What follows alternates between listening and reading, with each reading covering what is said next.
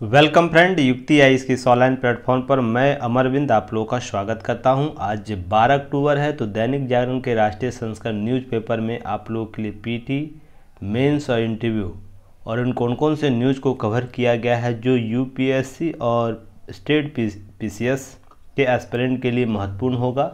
साथ ही साथ, जितने भी गवर्नमेंट कम्पिटेटिव एग्ज़ाम आप लोग भरते हैं, उसका फॉर्म फिलअप करते हैं। उससे रिलेटेड जो पीटी फैक्ट है, उस पर भी हम लोग चर्चा करते, चलेंगे आगे। आगे हम उसको सभी मेन पार्ट और सब पार्ट पर विस्तृत रूप से नज़र डालेंगे। आगे बढ़ने से पहले आप लोग चैनल को ज़रूर यूट्यूब चैनल को ज़रूर सब्सक्राइब कीजिए। साथ ही साथ बेल आइकन को भी दबाएँ, ताकि सभी नोटिफिकेशन सबसे पहले आप तक पहुँचे।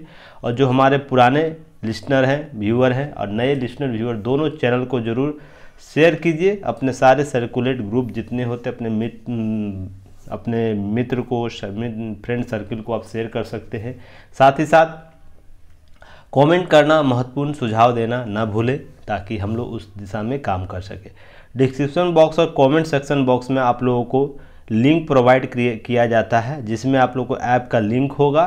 तो ऐप में बहुत से टेस्ट आप लोग को लो प्राइस में चलाए जाते हैं, बहुत न्यूनतम शुल्क लेकर।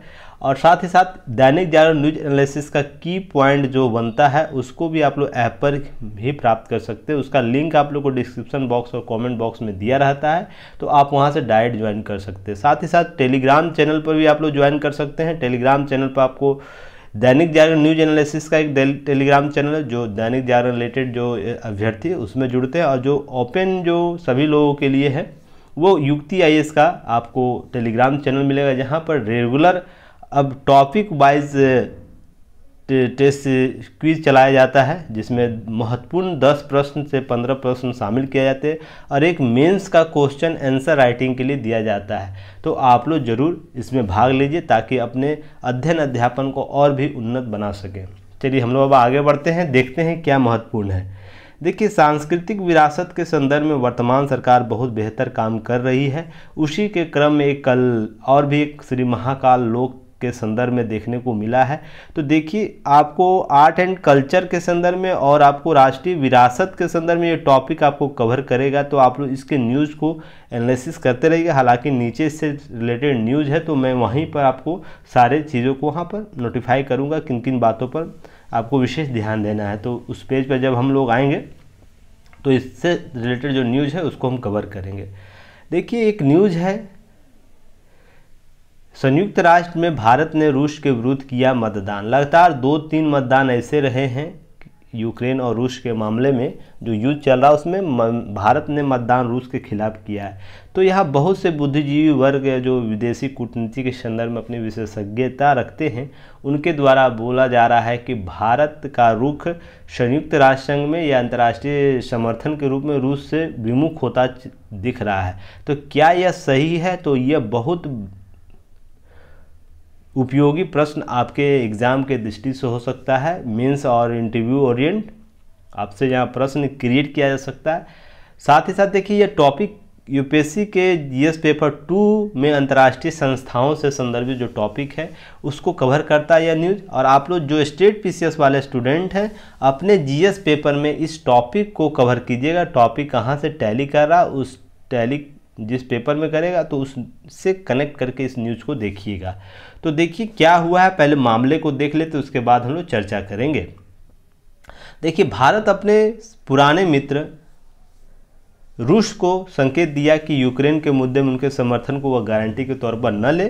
संयुक्त राष्ट्र जो महासभा है यूएनजीए जनरल असेंबली जिसे बोला जाता है, में यूक्रेन के चार क्षेत्रों पर रूस के अवैध कब्जे की निंदा करने के लिए एक मसौदा प्रस्ताव लाया गया था। रूस ने इस प्रस्ताव पर गुप्त मतदान की मांग की थी, लेकिन अल्बेनिया, याद रखिएगा, इस देश का नाम अल्बेनिया ने सार्वजनिक मतदान या रोकेट, रिकॉर्डेड वोट की मांग करते हुए प्रस्ताव को पेश किया, जिसके बहुत से देशों ने समर्थन भी किया।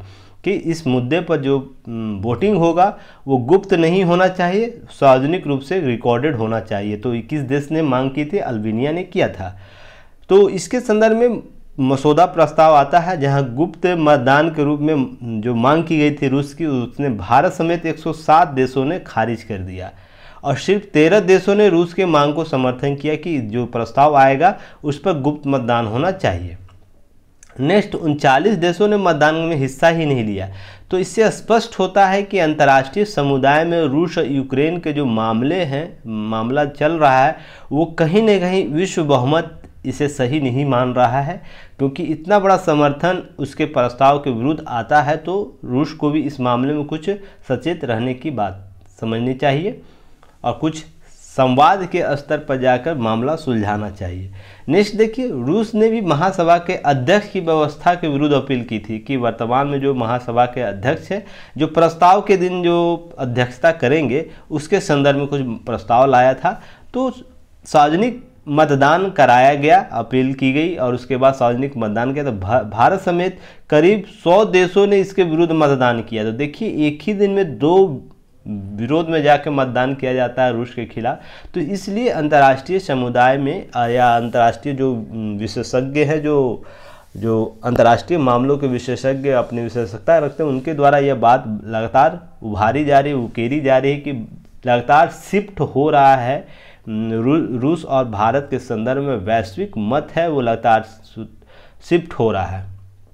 वो प्रधानमंत्री नरेंद्र मोदी के द्वारा संघाई जो संगठन का बैठक हुआ था उसमें रूस के जो राष्ट्रपति, उनके सामने समक्ष ये बात बोल देना कि वर्तमान युग, युद्ध का नहीं है। तो इसके संदर्भ में भी ये बातें कही जा रही है। पर यहाँ आप लोग ध्यान रखिएगा, ऐसा कुछ नहीं है क्योंकि कूटनीतिक कूटनीतिक में बड़े बदलाव के संकेत नहीं है, जो हमारे विदेश मंत्री एस जयशंकर उनके द्वारा कहा गया है और ये बातें स्पष्ट की गई है, जिसमें आपको देखिए, ऐतिहासिक रिश्तों को गहरा करने की बात कह चुके हैं। ऐसे में यूएन में रूस के मांग के विरुद्ध प्रक्रियागत मतदान भारत की कूटनीति में किसी बड़े बदलाव के संकेत नहीं है। देखिए, इस प्रकार के जब मामले आते हैं ना तो एक दो घटनाओं के बाद हम यह निश्चय नहीं कर सकते कि भारत रूस या भारत अमेरिका या किसी देश के साथ संबंध कैसे हैं हमारे ऐतिहासिक और पौराणिक संबंध रहे हैं हमारे कूटनीतिक संबंध रहे और बेहतर संबंध भी रहे भारत रूस के साथ। तो एक दो घटनाओं को मानकर हम यह नहीं कह सकते कि भारत का शिफ्ट हो रहा है विदेश नीति किसी और दिशा में। देखिए वे, वेट एंड वॉच करने की स्थिति में है सभी देश। और भारत बहुत सजग होकर अपने मतों को लेकर आगे बढ़ रहा है, क्योंकि देखिए, भारत एक लोकतांत्रिक देश है और किसी प्रकार के हिंसा को यह बढ़ावा नहीं दे सकता है। तो यह इसलिए इस रूप में इस मामले में रूस का विरोध इस वोटिंग प्रस्ताव में यह कर रहा है। देखिए, भारत की विदेश नीति आप लोग याद रखिएगा। विदेश नीति, जिसमें पंच पंच तत्व जो दिया गया है कॉन्सेप्ट पाँच सूत्र दिया गया पंचशील उसको याद रखिएगा, जिसमें सभी की सह अस्तित्व की चर्चा की गई है। सह अस्तित्व को हम लोग आदर करेंगे, सीमाओं का आदर करेंगे, शांतिपूर्ण शांतिपूर्ण व्यवहार करेंगे। हमारे जो विवाद होंगे, आपसी सहमति के आधार पर होंगे। तो ये जो पंचशील जो कॉन्सेप्ट दिया गया है, उसी विदेश नीति के संदर्भ में भारत हमेशा अपने विदेश नीतियों को समाहित करता है, अपने विदेश नीतियों को अनुसरित करता है। इसी के आधार पर चीज़ों को समझने की ज़रूरत है कि इस प्रकार के मामलों में अपने भारत की पौराणिक जो विदेश नीति, उसी के इर्द गिर्द रह के कार्य करेगा। तो एक दो प्रस्तावों के समर्थन या न समर्थन करने के एवज में हमारी 20 से 30-25 वर्षों की जो गहरी गहरा रिश्ता है उसे हम समाप्त नहीं कर सकते हैं। या 1947 के बाद जो यूएसएसआर जो था हमारा रूस पहले यूएसएसआर हुआ करता था उन्नीस सौ इक्यानवे तक यूएसएसआर का संबंध और विघन विघटन जब रूस का हुआ था यूएसएसआर का उसके बाद भारत के रिश्ते में परिवर्तन को हम एक दो मत, एक दो मतदान के आधार पर आंकलित नहीं कर सकते हैं। केवल वेट वेट एंड वॉच करने की ज़रूरत है। तो इसके संदर्भ में कुछ चीज़ें हैं, जैसे जनरल महा, महासभा लगातार आप लोग को चर्चा मिलेगा और इससे बीपीएससी ने प्रश्न भी किया है, ध्यान रखिएगा 67 बीपीएससी हुआ था हाल ही में, उसमें भी प्रश्न किया था, जबकि मैंने पहले भी जब संयुक्त राष्ट्र के संबंधित जो यूक्रेन का मामला आया था तो उसमें भी मैंने संयुक्त राष्ट्र, महासभा सुरक्षा परिषद सभी पर चर्चा किया था। तो आप लोग को न्यूज़ कलेक्टिव आप लोग को याद रखना चाहिए, प्रश्न कहाँ से क्रिएट किया जाता है। तो हम लोग चर्चा कर लेंगे संयुक्त राष्ट्र महासभा के संदर्भ में, क्योंकि यहाँ पर चर्चा उसी का किया हुआ है। और भी जब चर्चा आती है पार्ट बाय पार्ट हम लोग उसे कवर करते हैं। हालाँकि इससे पहले मैंने न्यूज़ इस पर कवर किया है तो आप लोग उसे देख सकते हैं। अगर उनको, जिनको भी देखने का इच्छा हो, जाके देख सकते हैं। प्ले लिस्ट में सारे वीडियो बन, आपको अवेलेबल है तो आप लोग कवर कर सकते हैं। तो महासभा संयुक्त राष्ट्र के एक महत्वपूर्ण अंग है, जो विचार विमर्श, नीति निर्धारण जैसे कार्यों के लिए उत्तरदायी है। जितने भी विचार विमर्श होंगे, मुद्दे होंगे, उसका जनरल असेंबली में ही क्रियाकलाप किया जाता है, उससे संबंधित कार्य किए जितने भी निधि निर्धारण के संबंधित कार्य होंगे संयुक्त राष्ट्र के, वो भी इसी असेंबली में किए जाते हैं। आपको फिर नेक्स्ट याद रखना है, महासभा संयुक्त राष्ट्र के सभी एक सौ तिरानवे देशों के प्रतिनिधित्व है। वन राष्ट्र, वन वोट यहाँ पर अनुसरण किया जाता है, एक राष्ट्र का एक वोट। जिसे सार्वभौमिक प्रतिनिधित्व वाला एकमात्र संयुक्त राष्ट्र निकाय माना जाता है या बनाता है। यह एकमात्र ऐसा निकाय है संयुक्त राष्ट्र में, जिसमें एक राष्ट्र, एक वैल्यू के संदर्भ में देखा जाता है एक वोट के संदर्भ में या एक सदस्यता के रूप में देखा जाता। सभी यहाँ राष्ट्र समान है। वो अमेरिका हो अमेरिका या पाँच जो सदस्य हैं, वो हों या कोई नया सदस्य जो अभी हाल ही में बना है, वो भी सभी का समान अधिकार, समान बेंच पर समान अधिकार प्राप्त है। सभी एक समान रूप से यहाँ पर गिने जाते हैं और समझे जाते हैं। ऐसा नहीं है कि चीज़ें आपको, जैसे संयुक्त राष्ट्र सुरक्षा परिषद में है, किसी को अतिरिक्त शक्ति दी गई है, उसके संदर्भ में यहाँ चीज़ें नहीं हैं। नेक्स्ट याद रखिएगा कि प्रतिवर्ष सितंबर में संयुक्त राष्ट्र के सदस्यों की वार्षिक महासभा का आयोजन न्यूयॉर्क के जनरल असेंबली में किया जाता तो इसकी कहाँ पर किया जाता है? इसका जनरल असेंबली न्यूयॉर्क में। यह प्रश्न आपको पीसीएस स्तर पर पूछा जाता है तो आप लोग ध्यान रखिएगा। और समान बहस होती है जहाँ कई राष्ट्र प्रमुखता से भाग लेते हैं। लगभग सभी राष्ट्र इसमें भाग लेते हैं और सभी किसी मुद्दे पर जो भी मुद्दा डिसाइड होता, उस मुद्दे पर अपना राय देते हैं, उसके संबंध में अपनी प्रगति रिपोर्ट देते हैं और उसके बाद जो भी निर्णय सर्वसम्मति से लिया जाता है या प्रस्ताव पारित किया जाता है तो यह बहुत ही महत्वपूर्ण बैठक होती है। वार्षिक वार्षिक कब होती है? सितंबर में। और मैं आप लोगों को सितंबर के माह में आपको 12 सितंबर का जाके न्यूज़ देखिएगा। वहाँ पर मैंने इसकी चर्चा भी किया था जब सत्रों का जो छिहत्तर से सत्तरवा सत्र आयोजित, शिफ्ट हो रहा था और नए सत्र अध्यक्ष की नियुक्ति हो रही थी, उसमें चर्चा भी मैंने किया था तो आप लोग इसे ज़रूर देखिएगा।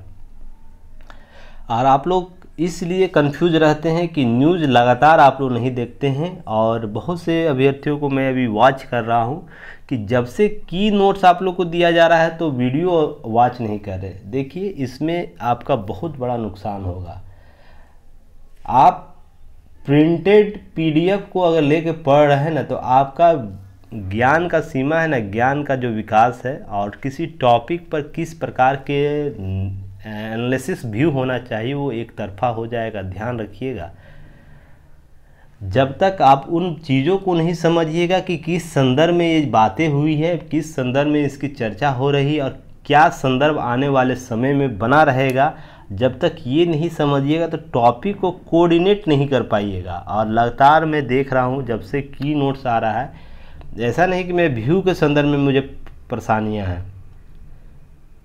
व्यू के संदर्भ में परेशानी नहीं हो रही, मुझे परेशानी आपके एटीट्यूड में हो रही है कि जब से की नोट्स दिया जा रहा है अब मैंने, मैं लगातार वॉच कर रहा हूँ, लोगों की जो वॉच संख्या वो घट रहा है। इसके लिए आपको बहुत नुकसान होगा आने वाले समय में।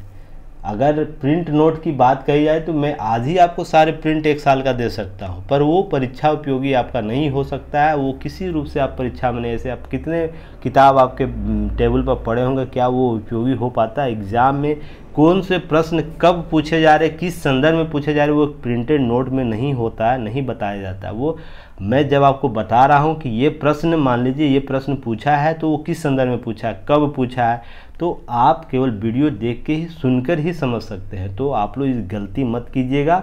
नहीं तो जो मैं जिस उद्देश्य से यह कार्य शुरू किया, वो उद्देश्य की पूर्ति नहीं होगी। अगर पूरा इंडिया में प्रिंटेड नोट का बोलबाला है, प्रिंटेड नोट दिया दिया जाता है, उसके संदर्भ में चीज़ें, स्टूडेंट की क्या खामियाँ आती है, वो मैं बेहतर जानता हूँ।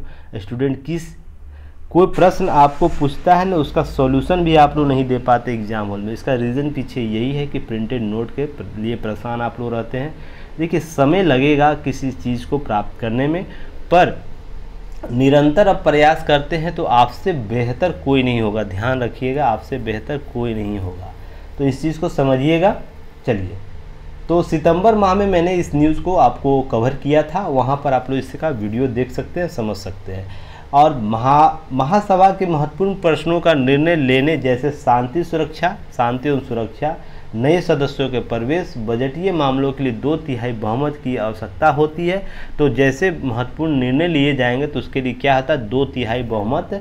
आपको एक सौ तिरानवे सदस्य हैं तो उसका दो बटे तीन आपको बहुमत चाहिए। तो आपको इस प्रकार के जो भी बहुमत प्रस्ताव लाना है तो आपको यहाँ पर बहुमत ज़रूरी हो जाएगा। तो जैसे शांति, सुरक्षा, नए सदस्यों प्रवेश या बजटीय मामलों के लिए क्या करना है? दो तिहाई बहुमत। और ये प्रश्न आपको यूपीएससी के कोटे आपको ऑप्शन में पूछा गया ध्यान रखिएगा, ऑप्शन में भी पूछा गया जैसे प्रश्न का ऑप्शन दिया था, one, two, three, four, five दिया जाता है इस प्रकार ना तो वहाँ पर ऑप्शन में यह पूछा गया तो आप लोग ध्यान रखिएगा, प्रश्न कहाँ से पूछा जाता है?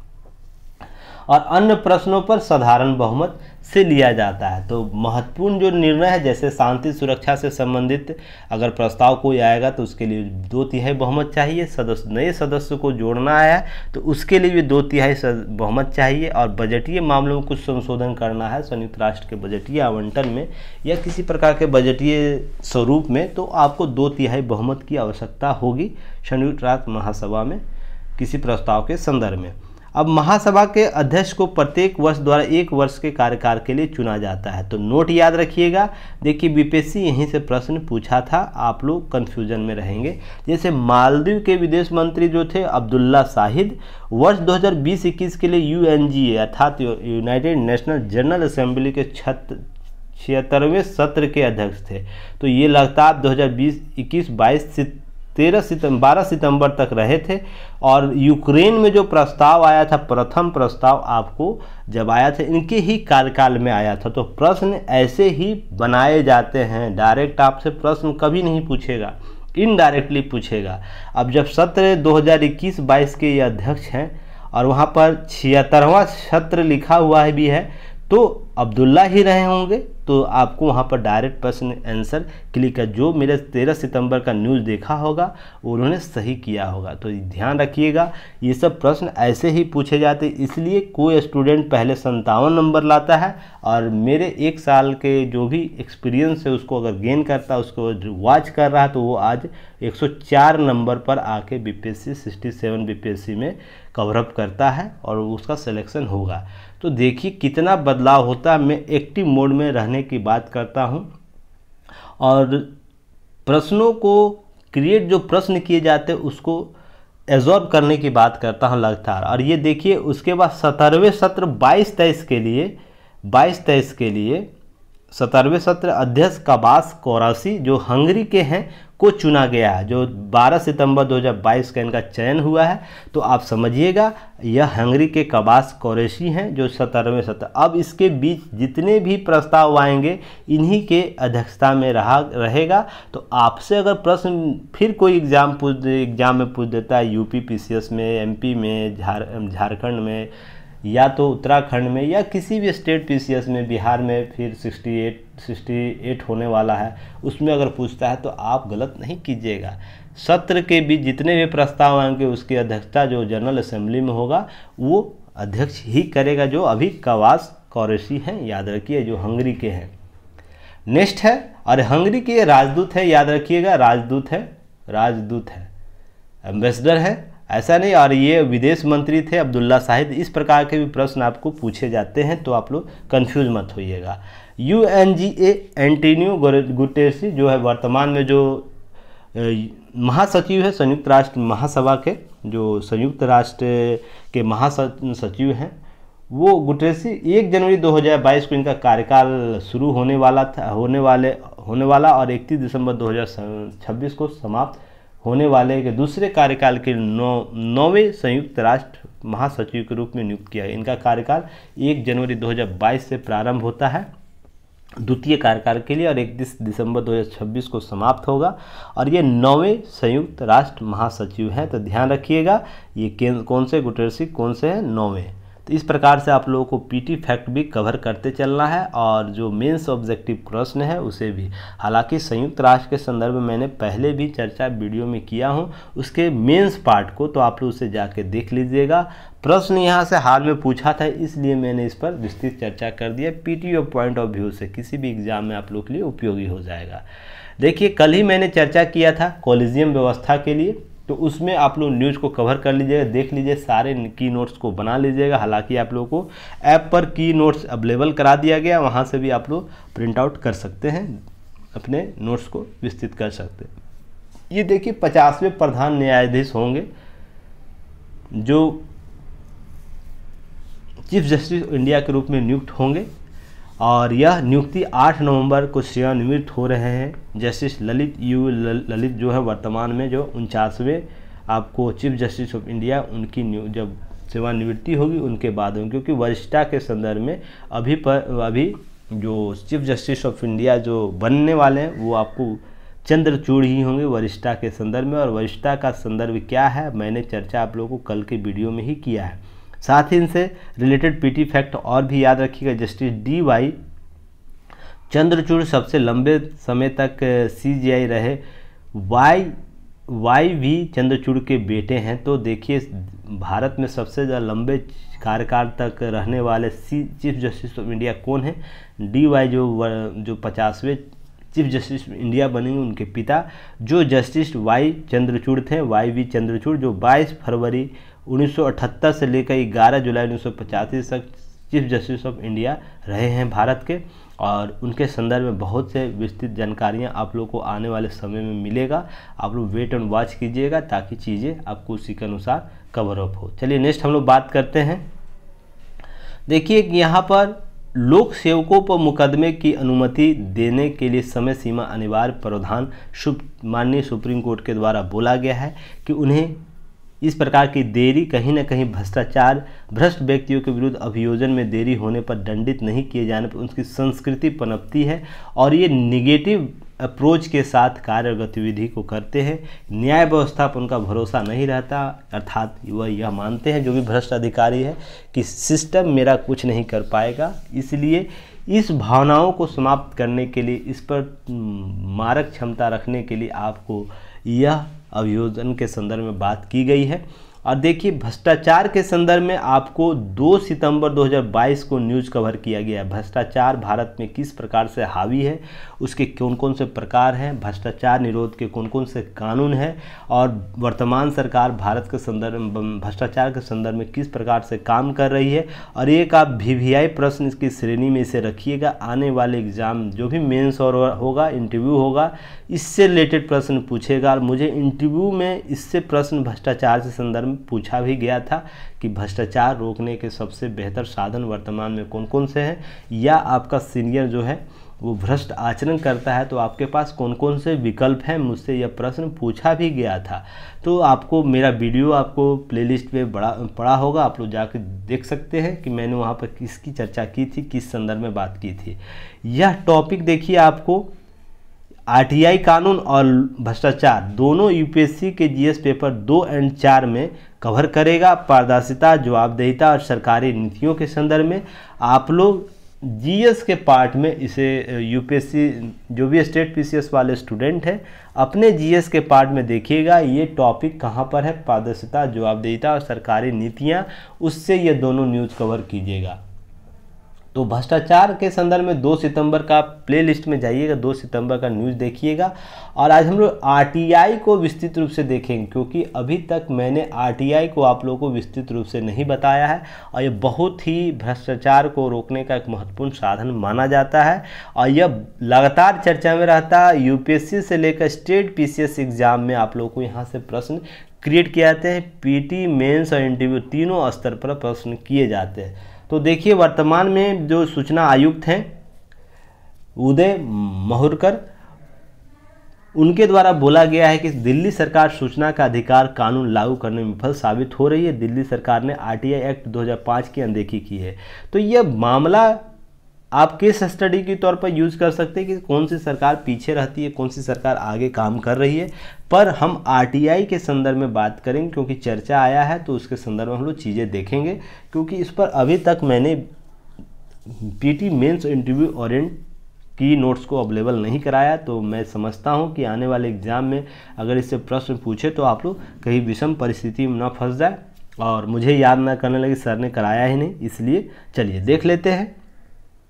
सबसे पहले किसी भी कानून के आने, मान लीजिए आरटीआई कानून 2005 आता है, या लोक सेवा अधिकार बिहार सरकार द्वारा लाया जा रहा है तो वो उससे पहले या किसी भी प्रकार के कानून आ रहे हैं। मान लीजिए अभी कृषि कानून आने वाला है, आएगा तो उससे पहले कुछ उसकी पृष्ठभूमि हुआ करती है। डायरेक्ट सरकार, ऐसा नहीं होता है कि अभी सरकार रात को सो के उठती है, सुबह मंत्रिमंडल की बैठक बुलाती है और बोलती है कि नहीं, आज मुझे सपने में आया क्या? एक कानून बनाना है। ऐसा नहीं होता है। उसके पीछे एक ऐतिहासिक पृष्ठभूमि हुआ करती है और वो दबाव में आकर सरकार उसके संदर्भ में कार्य करने के लिए अग्रसर होती है क्योंकि वो एक दबाव दबाव प्रेशर ग्रुप के रूप में काम करता है कि क्या उसकी पृष्ठभूमि रही है। तो इसी संदर्भ में समझिएगा, इसकी पृष्ठभूमि क्या है? तो देखिए भारतीय संविधान का अनुच्छेद 19 ए के तहत सूचना का अधिकार एक मौलिक अधिकार के रूप में वर्णित किया गया है बाद के दिनों में।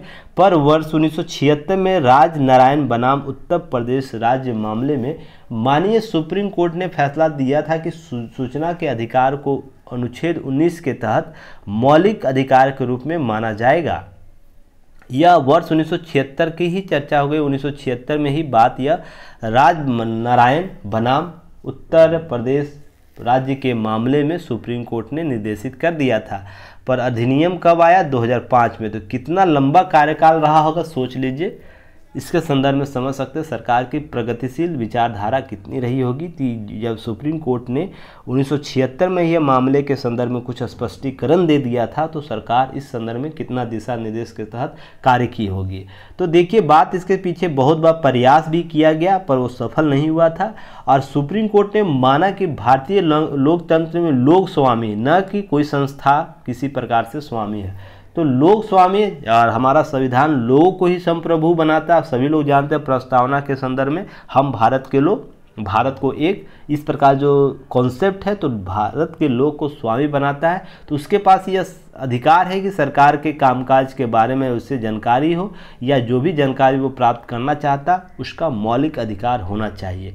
तो इसी पैटर्न या इसी कॉन्सेप्ट के आधार पर सूचना का अधिकार हमारे कार्य प्रणाली शासन प्रणाली हमारे लोकतांत्रिक प्रणाली में जुड़ा और आया है, जो एक महत्वपूर्ण साधन बन रहा है भ्रष्टाचार रोकने या भ्रष्टाचार के मामलों को उजागर करने में।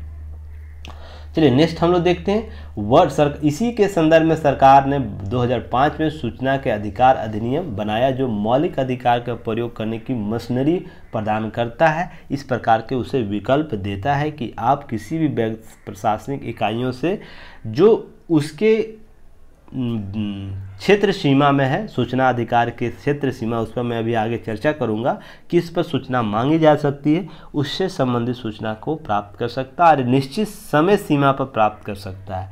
और यूपीएससी ने यहाँ से प्रश्न लगातार किया है यूपीएससी के पीटी प्रारंभिक परीक्षा में तो आप लोग इसे ज़रूर देखिएगा, ध्यान से समझिएगा।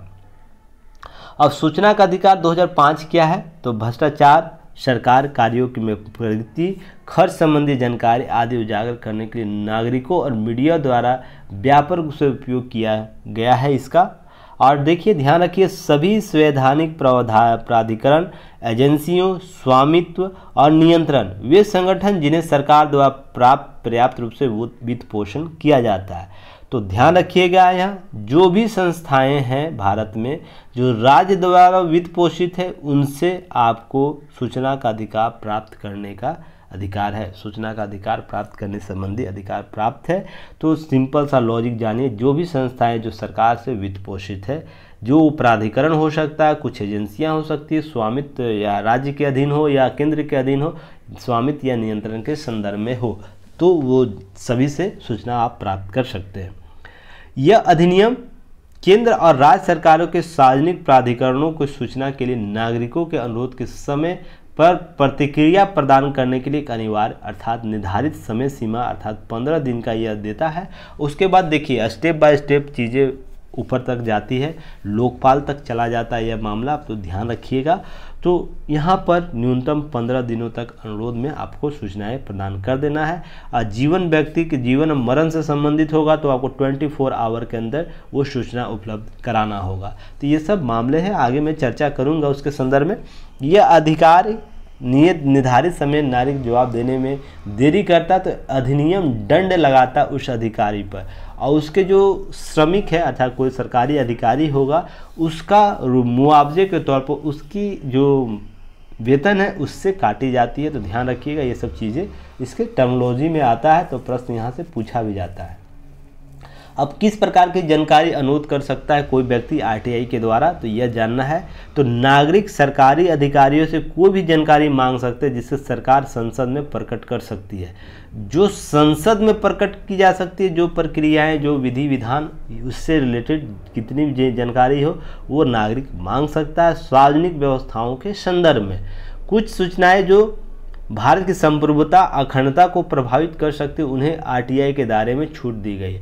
ऐसी सूचनाएँ जो भारत की संप्रभुता के प्रश्न से संबंधित है या अखंडता के संदर्भ से जैसे मान लीजिए, भारत में किसी प्रकार के सीमा विवाद से संबंधित सूचनाएँ अगर मांगेगा तो वो नहीं सरकार देगी। उसमें सरकार के व्यक्तिगत राय पर ही डिपेंड करे किन सूचनाओं को देना है।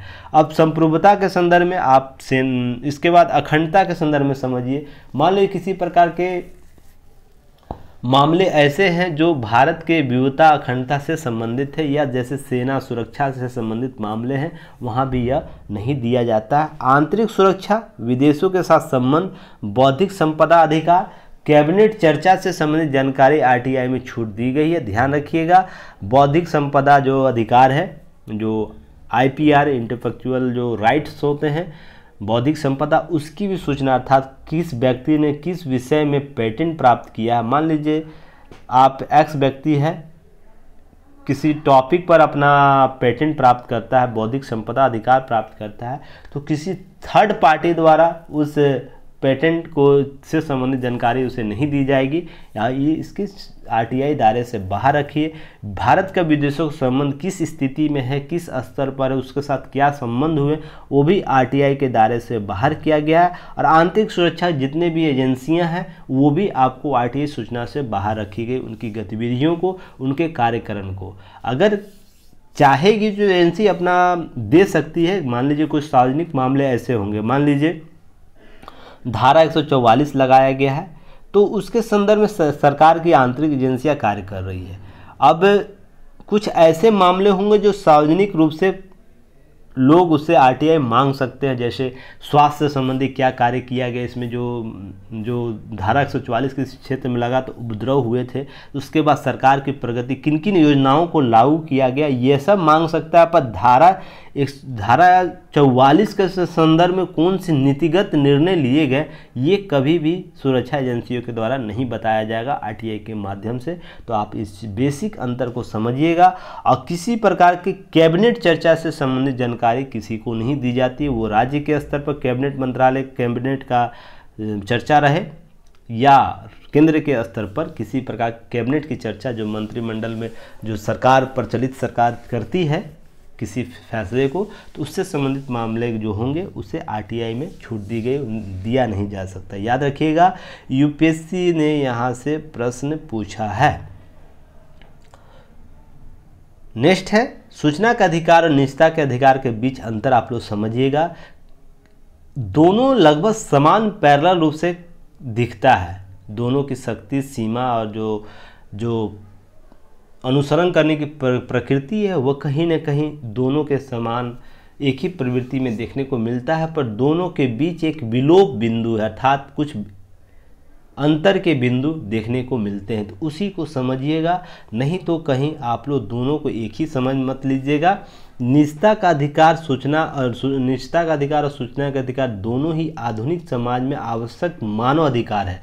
आपसे अगर पूछ दे तो दोनों ही मानव अधिकार है। दोनों इससे एग्री किया जा सकता है कि दोनों को जो अधिकार है, मानव के मूलभूत अधिकार है तो मानव अधिकार है तो यह समानता के स्तर देखने को मिलता है। सूचना का अधिकार, किसी भी व्यक्ति को सरकारी निकायों के पास मौजूदा जानकारी तक पहुँचने की मौलिक अधिकार प्रदान करता है, जबकि निजता का अधिकार कानून व्यक्तियों के को उसके बारे में व्यक्तिगत जानकारी संग्रह पहुँच और उपयोग उपयोग को नियंत्रित करने का मौलिक अधिकार प्र, प्र, प्रदान करता है जो सरकारों और निजी निकायों के पास होता है।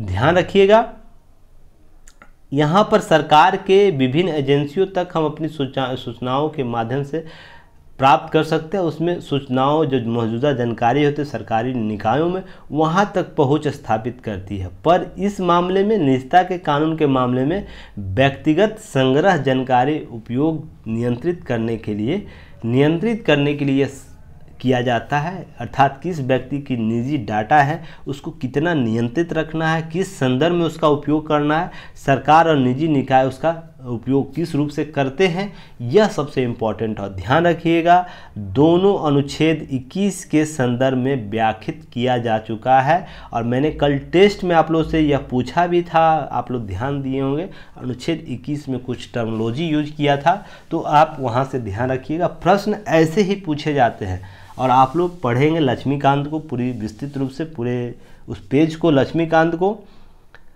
एनसीआरटी को पर, परीक्षा उपयोगी कहाँ से प्रश्न उठेगा? दैनिक जागरण न्यूज़ एनालिसिस के जो टर्मोलॉजी जो यूज़ किया गया उसके संदर्भ में। अब देखिए, यहाँ से प्रश्न क्रिएट किया जाएगा और आप लोग कन्फ्यूज़ हो पूरा आर टी पढ़े रहिएगा। ऐसा नहीं है। पूरा आर टी आप लोग पढ़े रहिएगा और एन लक्ष्मीकांत भी पढ़े रहिएगा एन सी आर भी एन सी आर टी भी पढ़ा, पढ़े पढ़े हुए रहेंगे। पर आपसे प्रश्न जो क्रिएट किया जाएगा ना, उसके तीनों टर्मोलॉजी को यूज़ करके तो वो टर्मोलॉजी कैसे, कौन बताएगा आपको? दैनिक जागरण न्यूज़ एनालिसिस याद रखिएगा, दैनिक जागरण न्यूज़ एनालिसिस ही आपको बताएगा कि किस प्रकार के मौलिक विलोप बिंदु है। और विलोप बिंदु कौन है, आपको कौन समझाएगा? और आप लोग को मैं की नोट्स दे दूँ तो आप लोग इसे पढ़ लीजिएगा और समझिएगा ही नहीं कि ये लाइन को आप लोग याद करिएगा। कभी भी याद करने के कॉन्सेप्ट को मैं नहीं बढ़ावा देता हूँ। मैं समझने के कॉन्सेप्ट को बढ़ावा देता हूँ। एक बार समझ गए तो इससे रिलेटेड कभी भी प्रश्न आएगा, आप लोग कभी गलती नहीं करिएगा। तो मैं इस पैटर्न पर काम करना चाहता हूँ तो आप लोग वीडियो को ज़रूर देखिएगा, तब जाके की नोट्स को समझ देखिएगा, फिर उसके बाद जाके वीडियो को एक बार क्विक रिवीजन कीजिएगा ताकि चीज़ें समझ में आ जाए। अगर इतना कर लेते हैं तो विश्वास मानिए, आपका लगभग 50 से 60 percent syllabus Dainik Jagran news analysis ही कवर करा देगा। अब मान लीजिए ये टॉपिक जो आर आई है, किसी न किसी जीएस पेपर का ही टॉपिक है ना? आपका ये टॉपिक पूर्णतः कवर हो जा रहा है तो आप ध्यान रखिएगा, विश्वास कीजिए, इस पैटर्न पर चलकर आपका सफलता आपके कदमों में होगा। ध्यान रखिएगा, अब आरटीआई अधिनियम के उद्देश्य क्या है? तो नागरिकों को सरकार से सवाल करने का अधिकार देता है अर्थात लोगों को संप्रभु बनाता है, बनाने का प्रयास करता है। सरकार यह कभी नहीं, कदाचित नहीं समझ ले कि हम ही संप्रभु हैं। इसलिए सवाल बहुत ज़रूरी होता है। इसी के लिए मुझ, मेरे यू, आपको देखते हुए ट्विटर हैंडल पर, या तो मैं किसी फेसबुक फेसबुक पेज से या फेसबुक ग्रुप से, सरकार से डायरेक्ट मैं प्रश्न करता। कल मैं चीफ जस्टिस ऑफ़ इंडिया से सवाल किया हूँ। आप लोगों को मैं स्क्रीन शॉट शेयर कर दूँगा। जहाँ पर कल ये बात उनके द्वारा बोली गई है कि भारतीय अल्पसंख्यक, अर्थात बहुसंख्यक वोट प्राप्त करने के लिए अल्पसंख्यक को सताया जा रहा है। देखिए, अल्पसंख्यक को सताया जा रहा है, सताया जाने की जो प्रवृत्ति एकमात्र पक्षीय दृष्टि है। तो मैंने उनसे chief justice of India U Lalit ji से यह बात बोली, पूछा मैंने उनसे, आपको ये कौन कौन से संवैधानिक अधिकार दिए हैं जो एक तरफा निर्णय को या एक तरफा विचार को प्रस्तुत करने के लिए। अल्पसंख्यक का मतलब भारत में 14 परसेंट, चौदह पॉइंट टू परसेंट जनसंख्या नहीं हो सकता है। इसका मैंने पहले भी बात बोला था कि पहले भी ये वीडियो में मैंने बोला था, इनके मानकीकरण की आवश्यकता बहुत ज़रूरी है, क्योंकि ये हमेशा एक सेफ़ कार्ड हमेशा खेलते हैं, ट्रेपो कार्ड खेलते हैं कि चौदह पॉइंट जनसंख्या जो भारत में अल्पसंख्या अल्पसंख्यक उसे कहा जाएगा जो न्यून संख्या में, जैसे सिख लोग हैं, ईसाई हैं, सिख ईसाई हैं बौद्ध हैं, जैन हैं, इस प्रकार के जो जनसंख्या, जो 1.2 से लेकर भारत के कुल जनसंख्या का 0.4 0.4 प्रतिशत तक रहते, उन्हें अल्पसंख्यक कहा जाएगा। और केवल अल्पसंख्यक का अर्थ मुस्लिम समुदाय नहीं होता होता है।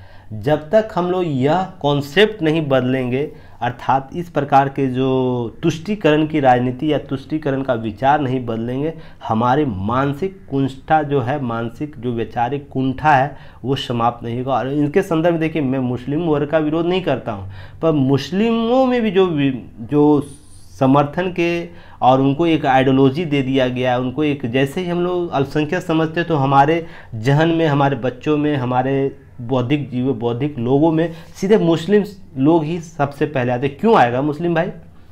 मुस्लिम इतना दलित इतना दबित क्यों हो सकता है? नहीं होगा। उसे सशक्त करिए, सशक्त करने के साधन लाइए और वो क्यों कोई अल्पसंख्यक कहलाएगा? तो मैंने कल चीफ जस्टिस ऑफ़ इंडिया से सवाल इसी संदर्भ में पूछा और मुझे हक है ये पूछने का। वो प्रधानमंत्री हो, राष्ट्रपति हो या कोई भी व्यक्ति विशेष क्यों ना हो। मुझे इसी कानून के अधिकार पर मुझे उनसे सवाल करने का अधिकार देता है और मुझे ये कोई भी संस्था मुझे रोक नहीं सकती है। तो मैंने आपको, मैं आपको आप स्क्रीन शेयर कर दूँगा स्क्रीन शॉट शेयर कर दूँगा। मैं, मेरी मंशा बस इतनी रहती है कि जो सही है ना, उसको सही तरीके से समर्थन करो और जो गलत है तो उसका विरोध सभी लोग करो। ऐसा नहीं कि आप उसका तुष्टिकरण करना शुरू कर दो। ये बहुत ही खतरनाक है। उस वर्ग के लिए भी राज्य के लिए भी, देश के लिए भी और व्यक्ति विशेष के लिए तो है ही। नहीं तो आप मानिए कि जो सच्चर कमेटी थी, उसकी रिकमेंडेशन था कि अभी भी मुस्लिम समुदाय बहुत पिछड़ा है, उसे आंतरिक संशोधन की ज़रूरत है, उसमें आधुनिकीकरण के विचारों को डेवलप करने के लिए ऐसे कार्य दिशा करने चाहिए। पर सच्चर कमेटी की रिपोर्ट को भी सरकारों ने बेहतर तरीके से लागू नहीं किया। सरकार के छोड़ ही दीजिए, उन वर्ग में जो संस्थाएँ हैं, जो कार्य करती है मुस्लिम वर्ग में, उसने भी इसे लागू नहीं किया। इसके पीछे का कारण बस यही है कि हमने अल्पसंख्यक या दबित लोगों के विचार विचार जैसे ही मन में आता है, उसे मुस्लिम संदर्भ में देख लेते हैं। ऐसा बिल्कुल नहीं है, जितना भारत का मुस्लिम विकसित है, विश्व का कोई मुस्लिम उसे अधिकार प्राप्त नहीं है। ध्यान रखिएगा, मैं जो बात बोल रहा हूँ, विश्व का कोई देश मुस्लिम कंट्री का आप उठा लीजिए उसमें भारत के मुस्लिमों को जितना अधिकार दिया गया, जिनकी उनको स्वतंत्रता दी गई है, जितना उन्हें अपने आचरण, व्यवहार करने का अधिकार दिया गया, वो किसी भी अन्य राष्ट्र में नहीं देखने को मिलेगा। तो कैसे ये दबलित होते, हमारी नीतियाँ कमज़ोर हैं, इसलिए इस प्रकार के कॉन्सेप्ट अभी भी प्रचलित में हैं। तो देखिए, मैंने सवाल इसी आज इसी संदर्भ में पूछा तो आप लोग को चीज़ें समझने की ज़रूरत है। इसका व्यवहारिक पक्ष क्या है? अब व्यवहारिक पक्ष किताबी पक्ष तो आप लोग पढ़ लेते हैं ज्ञान आप लोग को प्राप्त हो यह अधिकार देता। है तो अधिकार आप इसका यूज़ कैसे करते? कितने व्यक्ति इसका अधिकार का यूज़ करते? अगर चीफ जस्टिस इंडिया को लगेगा, देखिए उसे स्वतः संज्ञान लेकर मुझे अमान्य अमान्य का नोटिस जारी कर सकता मुझे। यह अधिकार उनके क्षेत्र में है, पर मैं भी इस अधिकार के तहत उनसे सवाल पुनः कर सकता हूँ, स्वतः संज्ञान आप या तो अमान्य किस आधार पर कर रहे हैं? तो मुझे यह अधिकार दिया गया है, नागरिक को सरकार से सवाल पूछने का और सरकार की एजेंसी के रूप में आप काम करते हैं, न कि आप एक स्वावलेंट संस्था है। आप सरकार की एजेंसियाँ हैं और आपसे प्रश्न लाजमी बनता है। तो ध्यान रखिएगा, ज्ञान से ज़्यादा व्यवहारिक ज्ञान आपको सशक्त बनाती है, सबल बनाती है। ध्यान रखिएगा इस चीज़ को। चलिए नेक्स्ट हम लोग बात करते हैं। यह अधिकार सरकार के भ्रष्टाचार रोकने, लोगों के लिए बेहद तरीके के काम करने में मदद करता है। तो यह अधिकार क्या करता है? भ्रष्टाचार रोकने के लिए और लोगों को बेहतर तरीके से काम करने का अधिकार या मदद देता भी है। अधिकार जो है यह सूचना का अधिकार केवल बेहतर जानकारी वाले नागरिकों निर्माण की परिकल्पना की गई है, जो सरकारी तंत्र के कामकाज के बारे में आवश्यक निगरानी रखेंगे या विषय ब्लोअर के रूप में भी काम करते हैं, अर्थात एक वॉच डॉग के रूप में काम करते हैं। अब देखिए, हालिया कुछ प्रावधान इसको याद रखिएगा यूपीएससी से लगातार प्रश्न पूछता है। कुछ महत्वपूर्ण प्रावधान है जो आपसे प्रश्न क्रिएट किया जाएगा वहाँ से। जैसे धारा दो एच याद रखिएगा।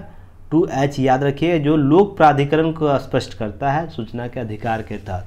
लोक प्राधिकरण है कौन? तो बार बार लोक प्राधिकरण आप सुन रहे होंगे तो उस लोक प्राधिकरण है कौन? किसे कहा गया है?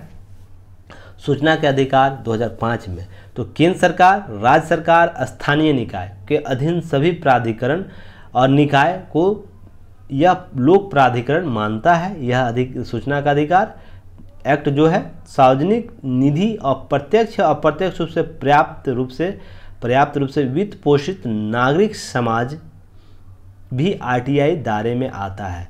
जो भी संस्थाएँ राज्य से अगर वित्त पोषित होता है, जो भी संस्थाएँ होगा, आप कोई एजेंसी बनाते हैं और वो राज्य सरकार या केंद्र सरकार आपको उसमें कुछ डोनेट करती है या वित्त पोषण करती है तो तो भी आपकी भी संस्थाएँ आरटीआई के दायरे में आ जाएगी। ध्यान रखिएगा यहाँ पर, जितने भी वित्त पोषण, अगर राज्य के सरकारों को कह, राज्य सरकार, कहने का अर्थ होता है, राज्य और केंद्र सरकार दोनों दोनों याद रखिएगा, सरकारें अगर करती है तो इसका संदर्भ में समझिएगा।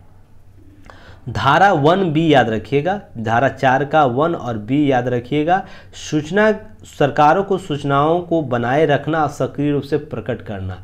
एक सीमा से तय सीमा दी गई है, जिसमें सरकारों को सभी सूचनाओं को संग्रहित करके रखना है। ऐसा नहीं कि उसे जैसे आप बीपीएससी में जाते हैं या यू यूपीएससी तो आपको आरटीआई के माध्यम से सूचनाएँ नहीं देता है, वो डायरेक्ट लेफ्टेड दे देता है। ये जो कि बहुत बड़ा ड्रॉबैक है कि स्टूडेंट को स्टूडेंट को ये अधिकार देना चाहिए उन्हें कि उसने क्या लिखा है, उसकी रिपोर्ट क्या, कैसे है, सभी पर आपको जानकारी प्राप्त होनी चाहिए एक समय सीमा के अंदर। पर बीपीएससी के संदर्भ में मैं बातें करूँगा। आपको तीन वर्ष तक सारी सूचनाओं को संग्रहित करके रखता है और उसके बाद अगर मांगते हैं तो कुछ समस्याएँ आती है, पर तीन साल के अंदर जो भी सूचनाएँ आपकी होंगी, वो बीपीएससी आपको उपलब्ध कराती है। तो समय सीमा याद रखिएगा। धारा छः सूचना हासिल करने के सरल प्रक्रिया निर्धारित करता है। केवल एक परफॉर्मा देना है, फॉर्म भरना है, कुछ शुल्क देना है और आपको वो सूचना प्राप्त हो जाएगा। दस रुपये का शुल्क होगा और जो गरीब बीपीएल परिवार के लोग होते हैं, उसे मुफ़्त सूचनाएँ दी जाती है तो ध्यान रखिएगा। और जो अनुसूचित जाति, जनजाति लोग, वर्ग के लोग आते हैं, उन्हें भी मुफ़्त सूचनाएँ दी जा रही है।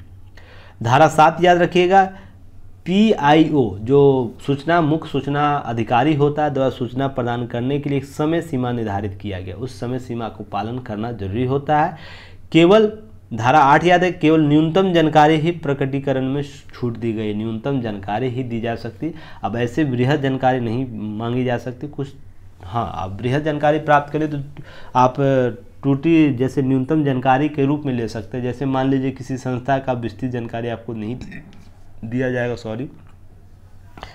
उनके संदर्भ में कुछ कुछ पॉइंट्स आपसे पूछा जैसे सरकारी अधिकारी की कार्यशैली कैसे है, अर्थात कार्य की अवधि क्या है, कार्य किस रूप से करते हैं, जैसे छोटे छोटे संग्रह में आप पूछ सकते हैं। ऐसा नहीं कि पूरी, अब, मान लीजिए, प्रधानमंत्री पीएमओ ऑफ़िस का पूरा डाटाबेस आपको दे दिया जाएगा। ऐसा कभी नहीं हो सकता है, सूचना अधिकार। उसके पार्ट बाय पार्ट पूछे जा सकते हैं। यही बोलता है धारा वन, आठ वन आपको, आठ धारा, आठ बोलता ही है कि न्यूनतम प्रगटीकरण की छूट देता है। और धारा आठ वन याद रखिएगा। सूचना के अधिकार अधिनियम को तो सूचना प्रस्तुत करने की छूट का उल्लेख भी है, कुछ छूट दी जाती है। और धारा आठ टू अधिकारी की गोपनीयता अधिनियम 1923 के तहत छूट प्राप्त जानकारी प्रकटीकरण के लिए प्रावधान करती है, अर्थात अधिव्यापक जनहित की सेवा की जाती है।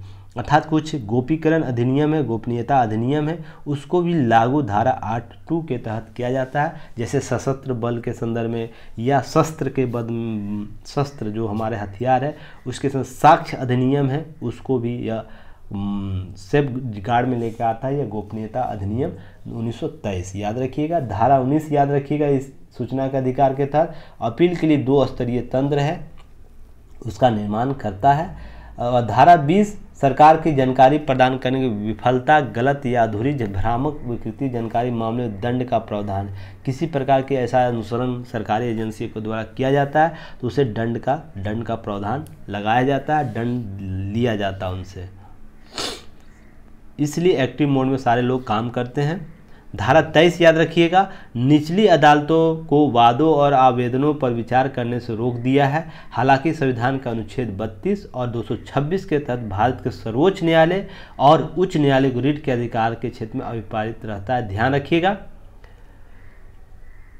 इन मामलों में निचली अदालत कभी भी फैसले नहीं लेंगे। अगर सूचना का अधिकार के संदर्भ में कुछ बातें होंगी, वो रीट 32 और रीट 226 जो रीट उन्नीस जो संवैधानिक उपचारों का अधिकार देता है, सर्वोच्च न्यायालय को, अनुच्छेद 226 जो है, वो उच्च न्यायालय को रीट से संबंधित अधिकार देता। है उसके संदर्भ में सूचनाओं का, सूचना के अधिकार तहत मुकदमा या जो क्षेत्र है, उसको निर्धारित करता है। तो ध्यान रखिएगा, दो, बत्तीस सौ छब्बीस को, दो सौ छब्बीस को भी।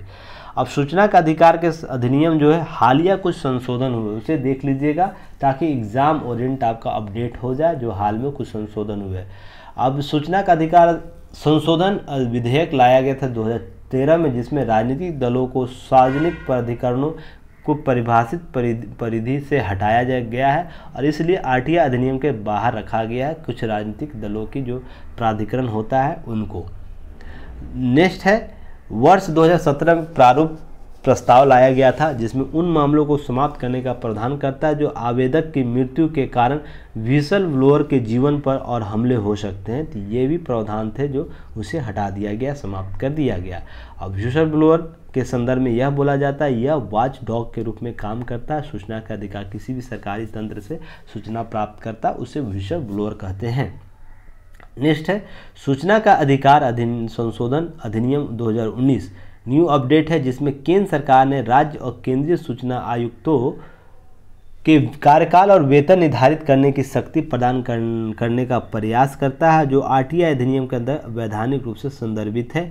और यह कहीं ना कहीं इस अधिनियम को कमज़ोर करता है, जिसमें इसकी केंद्रीय सूचना आयोग के कार्यशैली को कमज़ोर करता है, जिसमें इसकी जो नियुक्ति की सीमा को घटाया गया था और उसके वेतन से संबंधित वर्ष यह पाँच वर्ष के नियत कार्यकाल को सरकार द्वारा निर्धारित कार्यकाल में प्रतिस्थापित करने का प्रस्ताव करता है, अर्थात सरकार की इच्छा के अनुसार यह कार्य करेगी। तो यह सबसे बड़ा ड्रॉबैक इसके संदर्भ में देखने को मिल गया था, पर इसमें कुछ संशोधन के हाल ही में संशोधन करने कुछ विचार आ रहे हैं। तो देखेंगे समय के साथ क्या होगा। पर वर्तमान में आरटीआई से संबंधित कोई भी प्रश्न आता है तो आप उसे कवर कर लीजिएगा पीटी मेंस इंटरव्यू फैक्ट के रूप में। चलिए नेक्स्ट हम लोग बात करते हैं। अभी इक्यावन मिनट हो गया पहले पेज में ही, इसलिए मैं बोलता हूँ कि थोड़ा वेट एम वॉच करके चीज़ों को देखिए, सब्र रखिए। आपका सिलेक्शन होने में बहुत ही मेहनत, योगदान देगा यह। देखिए यूपीएससी के जीएस पेपर आपको टू एंड फोर में पारदर्शिता और जवाबदेहता और सरकारी नीतियों के संदर्भ में भ्रष्टाचार मुक्त भारत के हमला, बीड़ा, हमने बीड़ा उठाया, वर्तमान मोदी सरकार के द्वारा बोली गई है। और कुछ चीज़ें जो आपको यहाँ पर की गई, केस स्टडी के तौर पर उसे यूज़ कर सकते हैं। जैसे आपको एक सेकेंड, थोड़ा सा हाँ। जयप्रकाश नारायण और सामाजिक कार्यकर्ता नानाजी देशमुख की जयंती थी कल। उन्हीं के संदर्भ में बातें की गई थी और भ्रष्टाचार के मामले दो न्यूज़ आपको कवर किया मैंने आज अभी। तो दोनों को को मर्ज करते हुए इस न्यूज़ को भी आप लोग कर लीजिएगा। जयप्रकाश नारायण का आइडियोलॉजी और नानाजी देशमुख की आइडियोलॉजी को आप भ्रष्टाचार के संदर्भ में देख लीजिएगा। इसका की नोट्स मैं आपको अवेलेबल करा दूँगा ताकि चीज़ें समझ में आ जाए। चलिए नेक्स्ट है। इस रिपोर्ट को याद रखिएगा। पीटी फैक्ट के रूप में पूछ सकता है देश में कम हो रही असमानता। रैंकिंग में छः अंकों का सुधार हुआ, जिसमें असमानता के कम करने की दशा में प्रतिबद्धता जो लेकर वैश्विक स्तर पर जारी सी आर आर आई जो रैंकिंग है, उसमें जारी की गई भारत की स्थिति सुधार। भारत रैंकिंग छः स्थान सुधार करके वन, टू, थ्री रैंक प्राप्त किया है और जो C R R C R I जो आई जो कॉन्सेप्ट है, उसमें आपको 2022 में कोरोना महामारी के दो वर्षीय जो असमानता हुई थी, उसमें एक सौ इकसठ देशों का सरकारी नीतियों के संदर्भ में प्रयास विश्लेषण किया गया। ऑक्सफेम जो इंटरनेशनल और डेवलपमेंट फाइनेंस इंटरनेशनल द्वारा यह रिपोर्ट तैयार किया जाता है। रैंकिंग नॉर्वे को नॉर्वे को पहला स्थान दिया गया है, प्राप्त हुआ है। और जर्मनी को दूसरा, ऑस्ट्रेलिया को तीसरा, इस प्रकार के प्रश्न आपको पीटी फैक्ट के रूप में पूछे जाते हैं तो इसको न्यूज़ को कवर कर लेना है। आपको की नोट्स में प्राप्त हो जाएगा, इसके में कुछ चर्चा करने की ज़रूरत नहीं, जो चीज़ लिखा हुआ है, उसी को क्यों चर्चा करूँ? देखिए, टी ट्वेंटी के संदर्भ में भी बीपीएससी ने प्रश्न पूछा था कि जी ट्वेंटी जो सम्मेलन होना है उसका भारत के किस राज्य या केंद्र शासित प्रदेश में अध्यक्ष सम्मेलन होगा? तो पहले जम्मू कश्मीर हुआ करता था, उसका बदलाव करके नई दिल्ली किया गया, पर उसके और भी पार्ट है जो अन्य राज्यों में किया जा रहा है, जैसे अमृतसर, चेन्नई, भुवनेश्वर, पुणे, और शिक्षा से जुड़े बैठक होंगी, पर जी ट्वेंटी का जो सम्मेलन होगा ना, वो आपको नई दिल्ली में ही होगा। तो इससे संबंधित पहले भी न्यूज़ कवर किया गया है तो आप लोग देखिए, प्रश्न यहीं से पूछा गया सिक्सटी सेवन बी से भी। आपको इस पर भी न्यूज़ जिस दिन चेंज हुआ था, बैठक का जो जगह चेंज हुआ था, उस दिन भी चर्चा मैंने किया था तो आप लोग उसे देख सकते हैं। और भारत के फोकस किन किन मुद्दों पर है, आपको यहाँ से मेंस में प्रश्न पूछा जा सकता है, ध्यान रखिएगा। तो चार क्षेत्रों को लेकर होगा फोकस शिक्षा से जुड़े चार क्षेत्रों, पहला बुनियादी साक्षरता संख्या ज्ञान, दूसरा तकनीकी मदद में शिक्षा की पहुँच को बढ़ावा देना, तीसरा भविष्य की ज़रूरत, कौशल विकास और चौथा शोध को बढ़ावा देना और साझेदारी देना। तो ये आपको मेंस के प्रश्न क्रिएट किए जा सकते हैं यहाँ से तो आप लोग इसे ज़रूर कवर कीजिएगा। और भी जो विस्तृत जानकारी होगी, जैसे जैसे आएगी, हम लोग अपडेट करते जाएँगे। तो आप लोग इस न्यूज़ को कवर कर लीजिएगा, ताकि देखिए, पहले भी इस पर चर्चा पहले किया जा चुका है तो इसे आप लोग उन चीज़ों को समझिएगा। अब देखिए, एक न्यूज़ है वरिष्ठता के संदर्भ में सीजीआई जो पर अपवाद भी है। कुछ न्यूज़ इस पर कलेक्ट कल भी मैंने किया था, आप लोग आज देख लीजिएगा। उनचासवें जो चीफ जस्टिस इंडिया है, सेवाएँ दे रहे हैं, अब तक भारत में दे चुके हैं। इनका कार्यकाल जल्द ही समाप्त होगा, पचासवें। चुड़, जो वाई, जो चंद्रचूड़ हैं, वो आएँगे चीफ जस्टिस के रूप में आएँगे, चंद्रचूड़। तो आप लोग याद रखिए, उसके बीच के कुछ चीज़ें हैं, जैसे सी का चयन के लिए जिन नियमों का पालन किया जाता है, उन्हें मेमोरेंडम ऑफ़ प्रोसीजर या एम ओ पी भी कहा जाता है, और इसको कहीं ना कहीं कॉलेजियम के संदर्भ में देखने को मिलता है। केंद्र सरकार और न्यायिक प्रक्रिया के बीच एक समझौते के तहत नियम बने हैं, और एम जो है आपको बनने की कहानी एक रोचक है। दरअसल सुप्रीम कोर्ट और हाई कोर्ट जजों को चुनने के लिए कॉलेजियम सिस्टम संविधान या विधायिका में लिखित रूप से मौजूद नहीं है। इसी कारण सरकार ने सुप्रीम कोर्ट के बीच एमओपी बनाया गया। एक मोरेंडम बनाया गया प्रोसीजर कम से कम ये नियम लागू होने चाहिए, जो कोलिजियम के संदिग्ध कोलिजियम के रूप में स्पष्ट होता है। पहली बार एमओपी वर्ष उन्नीस सौ निन्यानवे में बनाया गया और वर्ष 2016 में पुनः विमर्श हुआ कि हुआ, वजह थी जज चुनने में स्थापित प्रक्रिया को चुनौती देने वाले नेशनल जुडिशियल अपॉइंटमेंट कमीशन जो राष्ट्रीय नियुक्ति, राष्ट्रीय न्यायिक नियुक्ति आयोग का गठन जो किया गया था, उसके संदर्भ में चर्चा में आया था। 2016 में, अर्थात 15 में इसकी आई थी यह नियुक्ति लाया गया था संसद में और 16 में लगातार चर्चा में और उसे असंवैधानिक घोषित कर दिया गया पंद्रह में। तो ध्यान रखिएगा। ये सब लगातार विवाद आए हैं तो इस सब पर चर्चा मैंने भी पहले भी कर चुका। दो बार टूटी वरिष्ठता वाली परंपरा। एक चीफ जस्टिस ऑफ़ इंडिया चयन में ओपी का उल्लेख सुप्रीम कोर्ट के वरिष्ठ जज इस पद पर नियुक्त किया जाना चाहिए। ओपी व्यवस्था उन्हें पहले वरिष्ठ जज तम जज हो सीजीआई चुनने की परंपरा निर्वहन भारत में किया जा रहा है। हालाँकि इसके संदर्भ में कुछ चीज़ें आप लोग को पढ़ लेनी चाहिए।